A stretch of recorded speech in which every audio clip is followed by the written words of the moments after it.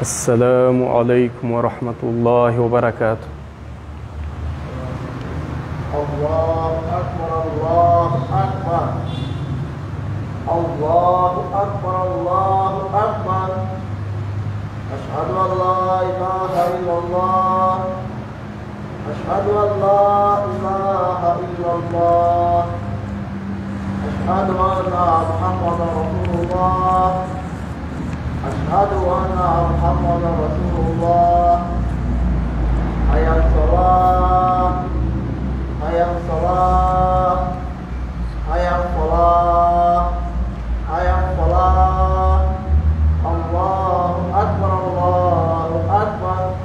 لا إله إلا الله. إن الحمد لله نحمده ونستعينه ونستغفره ونعوذ بالله من شرور أنفسنا ومن سيئات أعمالنا. من يهده الله فلا مضل له ومن يضلل فلا هادي له. وأشهد أن لا إله إلا الله وحده لا شريك له. وأشهد أن محمدا عبده ورسوله صلى الله عليه وعلى آله وصحبه وسلم تسليما كثيرا. يقول الله عز وجل في كتابه الحكيم بعد أعوذ بالله من الشيطان الرجيم. بسم الله الرحمن الرحيم. يا أيها الذين آمنوا اتقوا الله حق تقاته ولا تموتن إلا وأنتم مسلمون. يا أيها الذين آمنوا اتقوا الله وقولوا قولا سديدا. يصلح لكم أعمالكم ويغفر لكم ذنوبكم. ومن يطع الله ورسوله فقد فاز فوزا عظيما أما بعد todos os louvores são para Allah o Criador o Eterno e testemunhamos que não há outra divindade digna de adoração a não ser Allah e testemunhamos que Muhammad é seu servo e mensageiro e que a paz de Deus seja seu profeta Muhammad, seus familiares, seus companheiros. Amém. Irmãos e irmãs, a gente sabe que está se aproximando o fim do mês do Ramadã. É uma notícia triste para a gente, porque é o mês mais abençoado, é o mês que Deus salva as pessoas do fogo do inferno, que Deus exalta as pessoas. Então, é lamentável para o muçulmano, principalmente, que não aproveitou esse mês, que não se esforçou. O perdedor, como fala o profeta, o infeliz, é aquele que deixou passar esse mês sem ser perdoado, sem ter garantido o seu perdão pelo Eterno. Então, hoje a gente vai falar sobre um assunto muito importante que é o Zaká. Zaká é a nossa caridade que a gente faz. Vamos falar em geral, pelo tempo né, que não temos para falar detalhadamente, mas a gente sabe que quando se aproxima o fim do Ramadã, a gente começa a escutar as pessoas falar o quê? Sobre o Zaká, Zakat al-Fitr, que é o Zaká do desjejum, se a gente fosse traduzir. Então, a caridade do desde, desjejum. O que, que é essa caridade? Todo mundo fica se perguntando, oh, o que, que eu tenho que fazer? O que, que eu tenho que dar de caridade? Será que é para todo mundo? Então, vamos falar primeiro sobre o Zaká em geral não sobre o zaká específico, que é o zaká, zakat al-fitr, que é o zaká que a gente dá quando a gente acaba o mês do Ramadã, ou seja, a partir do último dia, sendo que tem outras opiniões que a gente pode dar no Ramadã, não há problema algum. Mas o zaká, o que, que significa? Se a gente falar az-zaká, uma palavra árabe, é também um pilar do Islã. É um mandamento de Deus, o Altíssimo. Na língua árabe ela tem muitos, a gente pode falar muitos sentidos. Zaká. Pode falar que ele, o zaká é o que? An-numu, an-nama, as-salah, at-tahara, az-ziyada, an-nafila. Tudo que entra na língua árabe que significa o que é zaká. Tem muitos sentidos na língua árabe, dependendo da frase que ela cai, essa palavra. Então temos que falar hoje sobre o que? A zaká, que é o mandamento de Deus. É o terceiro mandamento de Deus, a zaká. Depois da unicidade, que é o primeiro, a shahada, o segundo é a oração, o terceiro é a zaká. E a gente vê que a zaká foi citada no Corão 32 vezes. Em 18 vezes ela foi citada o quê? No lado da oração. Primeiro a oração, depois a zaká. Então, andam junto. E a gente vai ver que isso não foi só para a nação do profeta Muhammad, como foi para a nação do povo de Israel, para os judeus. Também foi para os profetas que não eram judeus, também foi prescrito, decretado a zaká. E o zaká, se a gente vai falar o que, que significa para nós na religião, a gente viu na língua árabe, a gente pode falar o que? A naqawa, que significa o que? A pureza, a tahara, a purificação, também pode traduzir, a ziada, tudo aquilo que é para mais. Então, isso é na língua árabe. Agora, na religião, tem outro significado específico na religião do Islã. Que quando a gente fala zaká, é o mandamento que a gente está querendo dizer, e não purificação como é na língua árabe. Então, a, a, o plural de zaká é o que? Zakawat. Zaká é singular. Zakawat é o que é o plural.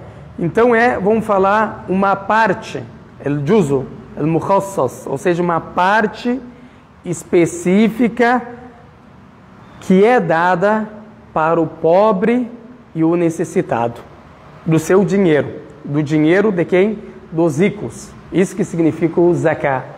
O terceiro mandamento do Islã, a gente pode falar, é uma parte especificada para os pobres e necessitados do dinheiro, da riqueza dos ricos.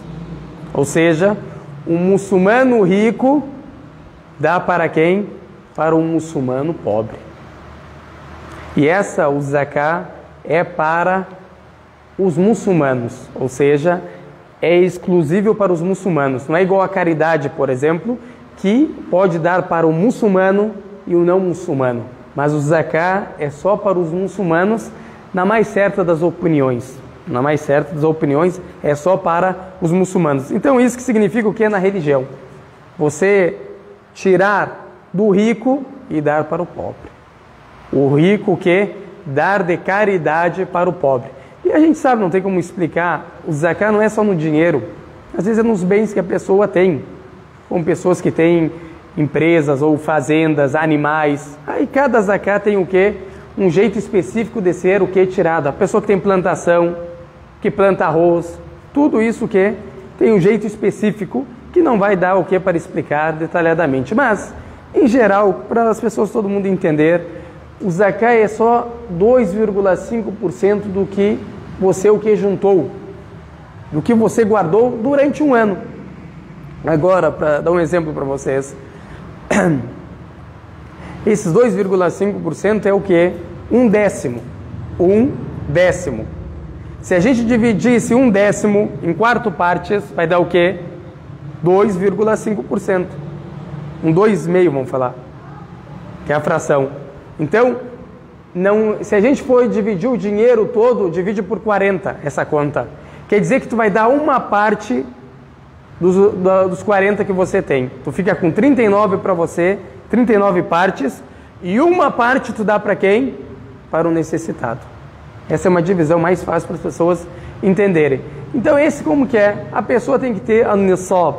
A nisab é uma quantia específica que um muçulmano tem que ter, que é mais ou menos 85 gramas de ouro, se a gente for contar, e de, de prata 595. Se a pessoa adquirir aquele dinheiro, o dinheiro que a gente tem, vamos falar o real, deu, do valor de 85% do ouro, 85 gramas, desculpa, do ouro, tem dinheiro, passando um ano, aquele dinheiro, vamos falar no banco, aquele dinheiro no seu cofre.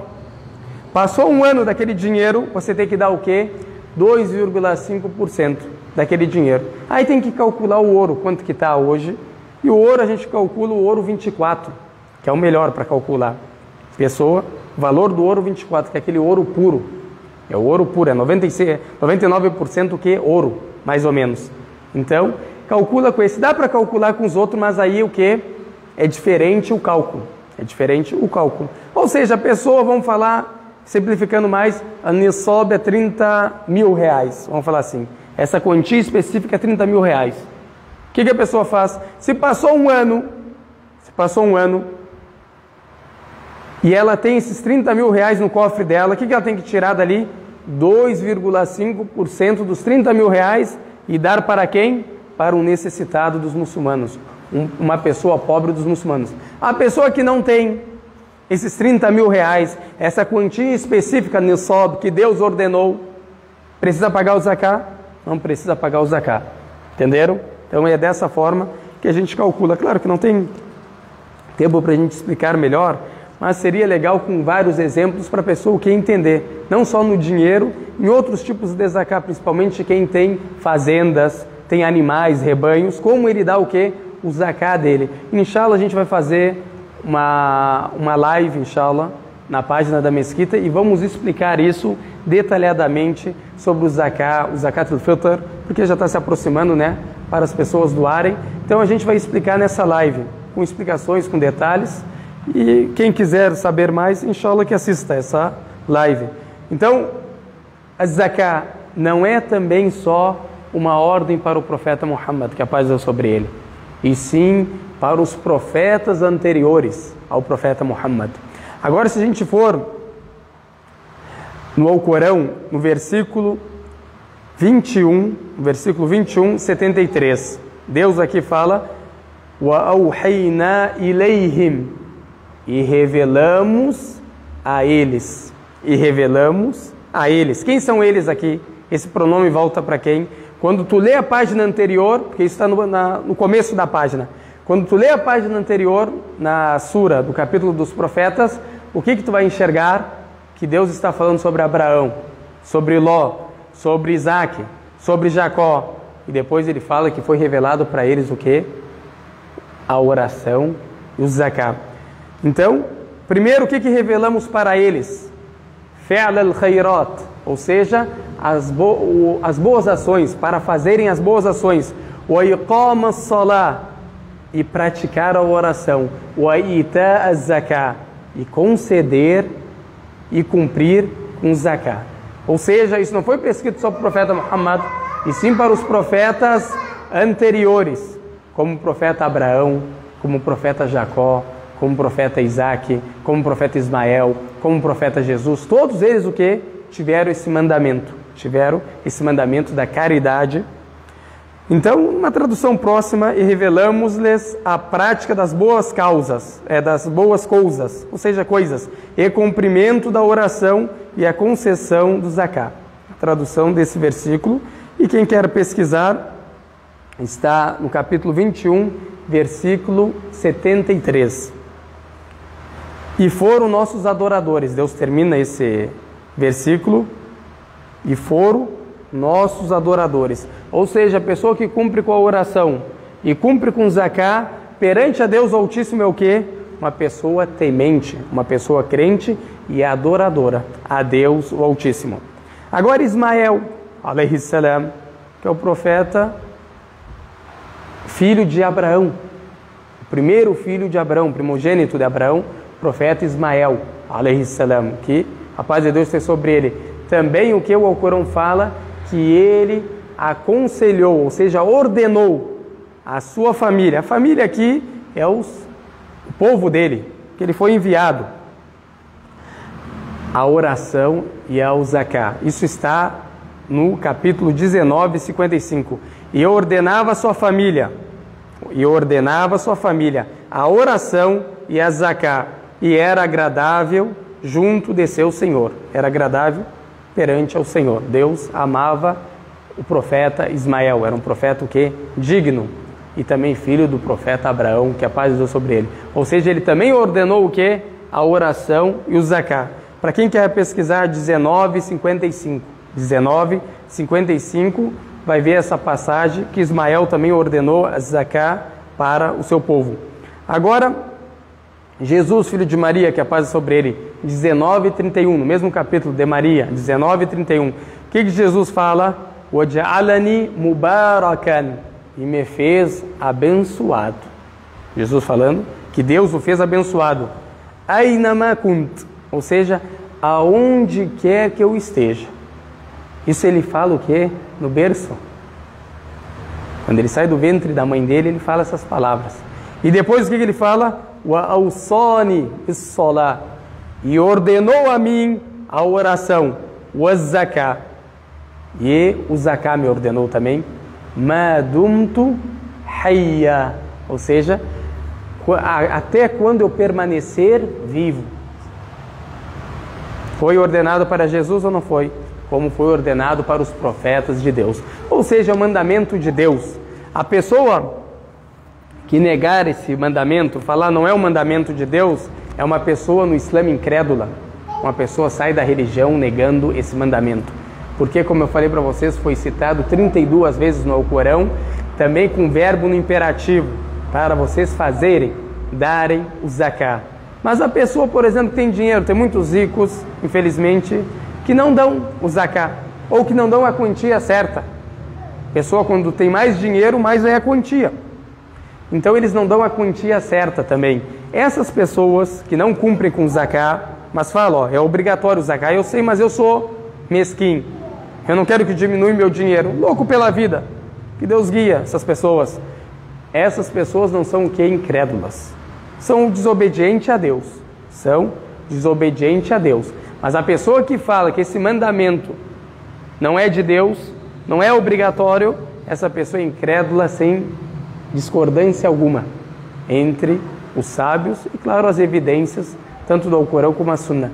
E a pessoa que mesquinhez, tomou conta dela, não quer doar, essa pessoa é desobediente a Deus. E a pessoa que não sabe, às vezes se converteu recentemente, não tem conhecimento sobre isso, também a pessoa não é considerada o que uma incrédula, ela é ensinada. Por isso que a pessoa quando se converte é melhor o que a pessoa ensinar os cinco pilares, cinco pilares, o que? Do Islã e explicar para elas, para as pessoas convertidas, os seis pilares o que da fé para elas entenderem bem antes de se converter, porque isso são mandamentos de Deus, o Altíssimo. وأقول قولي هذا وأستغفر الله لي ولكم استغفروا إنه هو الغفور الرحيم استغفر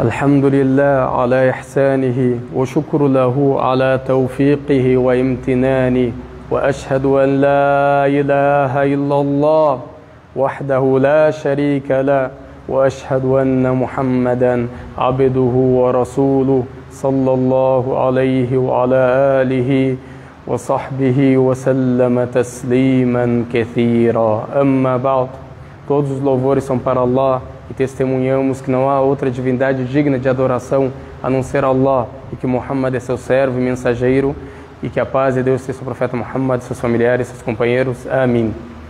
Agora no Corão a gente vê que tem versículos ordenando nós muçulmanos o que é apagar o zakat. Como eu falei para vocês, tem 32 versículos. Claro que não tem como trazer os 32 versículos aqui explicando mas vamos trazer alguns. Primeiro está na Surat al-Baqarah. Foi a primeira vez que foi citado o que? O Zakat 2:43. Capítulo 2, versículo 43. Deus fala: "Wa aqimus salata wa atuz zakat".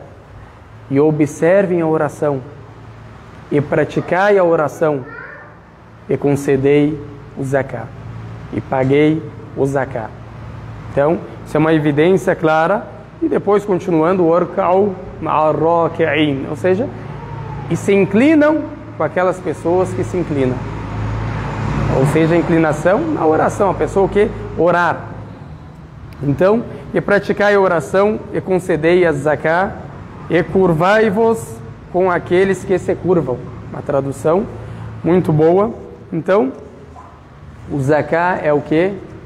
O mandamento de Deus, o Altíssimo, sem dúvidas alguma. Agora, o Ibn Omar, nesse hadith, ele fala para nós o que? Esse é o hadith que a gente pode falar, o principal hadith, que é o mais famoso, mais famoso que foi narrado pelo Bukhari, o Muslim, e outros livros. É autêntico ele.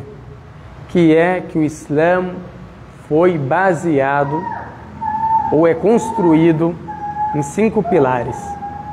Um desses pilares qual que é? A zakat. Sempre ele é citado como o terceiro pilar. Na maioria dessas narrativas, ele é o terceiro pilar. É um pilar o quê? Muito importante. E a pessoa não se torna muçulmano que negando esse pilar.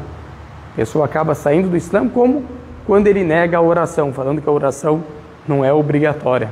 A oração não faz parte do Islã. Por que essa pessoa vira incrédula, descrente? Porque ela desmente a palavra de Deus. Deus fala sobre a oração, ordena a oração, ordena o zaká e essa pessoa fala o quê? Deus não ordenou. Está desmentindo o quê? A palavra de Deus. E agora falando sobre o quê? O zakat al-fitr, que é a caridade do desjejum, que a gente faz depois do jejum do mês do Ramadã. É uma caridade o que? Obrigatória. Uma caridade obrigatória. A quantia dela é que nem o profeta fala, a só, que significa mais ou menos, é, uma, é um peso, a gente pode falar, no tempo do profeta, que hoje ia dar mais ou menos 2,5 kg. 2,5 kg aproximado. O que, que a pessoa faz, todo muçulmano? Esse zaká é o zaká, a gente pode falar dos corpos, ou o zaká das pessoas. Ou seja, como assim das pessoas? Do indivíduo. Ou seja, cada indivíduo da sua casa você deve dar o que o zaká por ele. Agora o pai é responsável, por exemplo, eu sou responsável pela minha esposa, meus filhos, meu pai, minha mãe. Sou responsável por eles. O que, que eu devo fazer?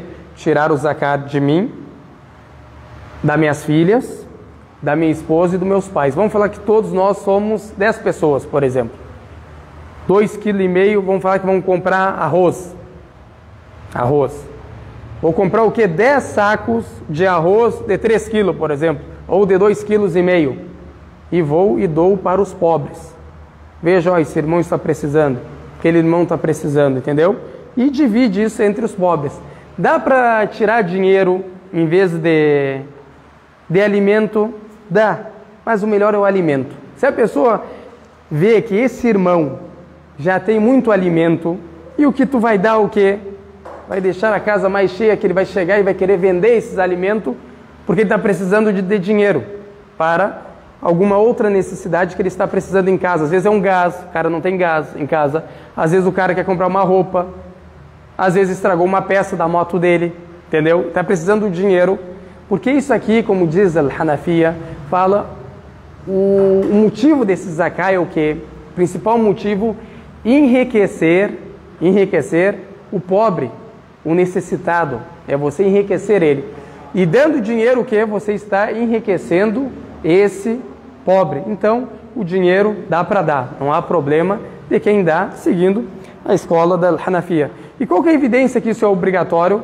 Um hadith que foi narrado pelo Ibn Omar, que Deus esteja satisfeito com ele, que está no Bukhari no Muslim, que ele fala que o profeta, que o profeta, que a paz é sobre ele, ordenou, ordenou, decretou esse zaká para toda a alma muçulmana, ou seja, para todo muçulmano, para todo o muçulmano. Então é obrigatório. E a gente sabe que aquilo que deu, que o profeta ordenou é como se fosse Deus que ordenou. Porque o que Deus fala no Corão 40, é, 480 fala e aqueles que obedecem ao mensageiro obedeceram a Deus. Ou seja, tudo que o profeta fala é o que revelação de Deus. Se ele ordena alguma coisa é porque Deus revelou para ele o que ordenar isso. E se ele proíbe alguma coisa, é porque Deus proibiu e ele o que? Proibiu as pessoas de fazer aquilo. Outra coisa, quando que a gente dá esse zakat? Isso é muito importante a pessoa saber. Um melhor é a pessoa dar o quê? No último dia. Vamos falar que o Ramadã vai acabar sábado. Acabou. Sábado. Da, do crepúsculo de sábado. A oração vai ser que horas? Depois do Fajr. A oração, né? Tu dá antes do Fajr, da alvorada. Nesse tempo tu tem. Só depois, em países islâmicos, ninguém dorme. Tu consegue sair tipo duas da manhã e, e dar caridade para alguém. Porque tem várias pessoas, países islâmicos. Mas aqui no Brasil tu vai sair duas, três da manhã, antes da, da alvorada, da oração para dar o, o ou antes da, da reza do Eid. Então, o que, que é mais fácil? A pessoa no crepúsculo já o que? Já está preparada.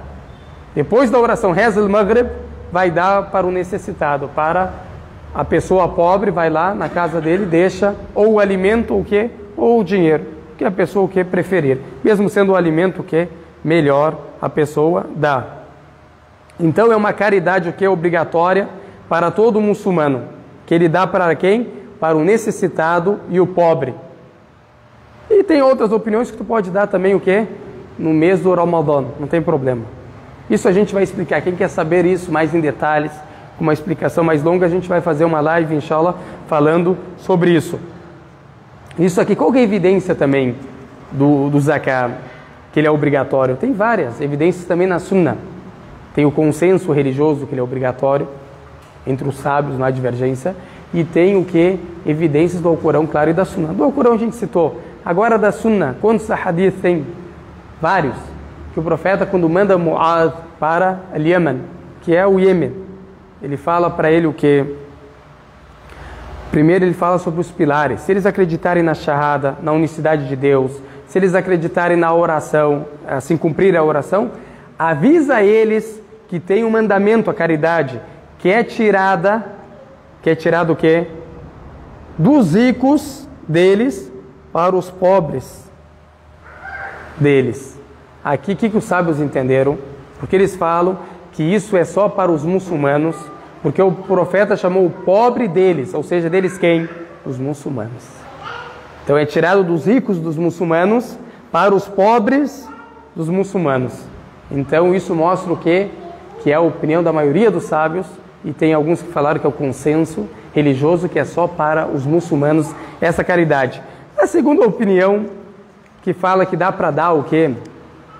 Para os não muçulmanos, porque viviam no tempo do profeta viviam que cristãos, judeus entre os muçulmanos. E o Sayyidina Omar deu o que caridade para um judeu um necessitado, deu dessa caridade para ele, um pobre, era um velho judeu que veio, não tinha nada em casa. Sayyidina Omar chamou ele e deu essa caridade. E outros versículos que eles falam, como da Tauba 9, é, 60, Innamas sadaqatu lil fuqara.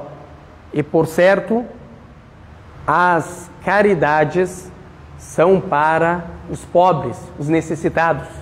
Ou seja, aqui necessitados, a gente sabe que no, no tempo do profeta morava com eles quem? Judeus e cristãos. E Deus fala aqui no geral, os pobres, não falou os pobres dos muçulmanos, e sim no geral. Essa é a evidência o quê? Do, dos que falaram, como Zufar, o Zuhri e o Ibn Sirin e outros que apoiaram essa opinião. Mas, como a gente viu, irmãos e irmãs, sempre a pessoa o que deve fazer caridade. Não só por causa desse zaká que a gente explicou, mas caridade em si. Pessoa não viu uma pessoa necessitada, tem condição, ajuda. Não é só isso é o que, o que é obrigatório. Isso é obrigatório para nós. Mas o que não é obrigatório também a gente deve fazer. Não é porque não é obrigatório a gente não pode fazer. Isso aqui, como o profeta fala, esse zakat tem vários benefícios, principalmente o zakat al-fitr. Ele o que deixa é o agradecimento para com Deus. Um dos da sabedoria desses acá, você agradecer a Deus por ter cumprido esse jejum, esse mês abençoado, tu vai lá o que e agradece. É a felicidade, como o profeta fala, para os necessitados. Quando tu chega aquilo na casa na casa desse necessitado com aquele zacá. Às vezes tu traz o zacá dos outros irmãos também, uma boa quantia.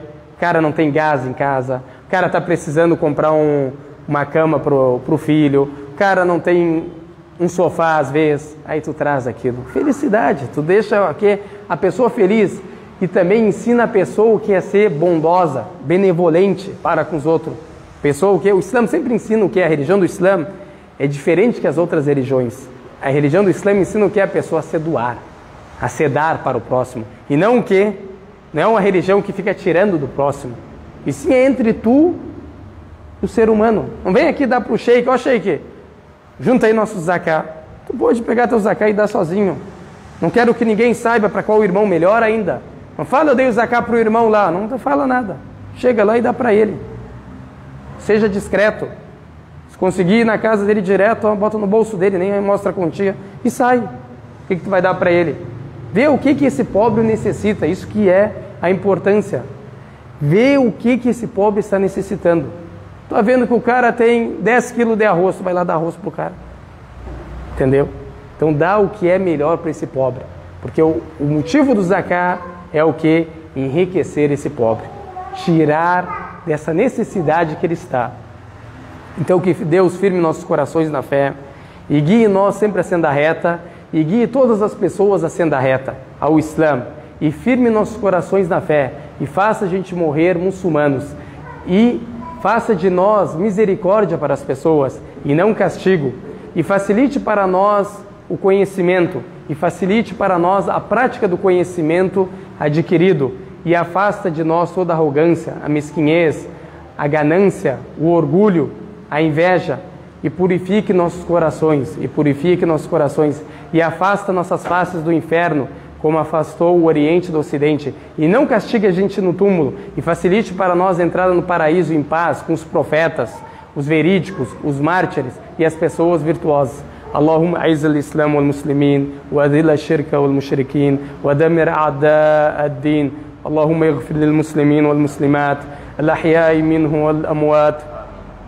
إنك قريب مجيب الدعوات. اللهم ارفع عنا البلاء والوباء والبأساء والضراء. اللهم أدم علينا النعم وادفع عنا النقم. وصلى الله على سيدنا محمد وعلى آله وصحبه وسلم تسليما كثيرا. سبحان ربك رب العزة عما يصفون والسلام على المرسلين والحمد لله رب العالمين. أقم الصلاة.